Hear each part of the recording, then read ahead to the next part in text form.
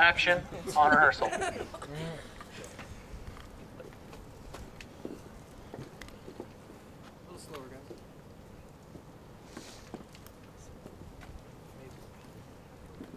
Jol, the blacksmith, is charged with sending fire on Rakedahl's barn with a look.